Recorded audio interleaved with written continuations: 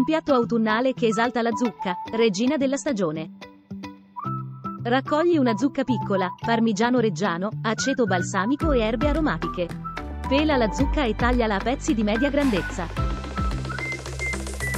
Cuoci la zucca al forno fino a quando diventa morbida e dorata.